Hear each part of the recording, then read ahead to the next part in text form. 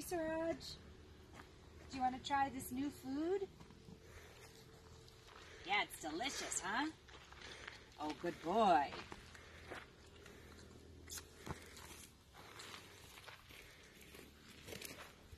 Thank you, Acana and Orijen.